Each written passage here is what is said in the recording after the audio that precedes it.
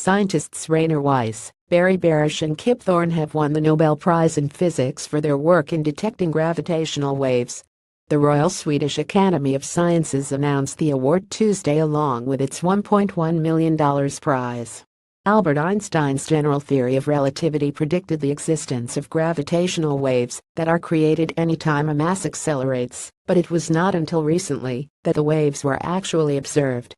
Weiss, Barish and Thorne were key figures in the work done by the Laser Interferometer Gravitational Wave Observatory LIGO, which measures tiny disturbances the waves make to space and time as they pass through the Earth.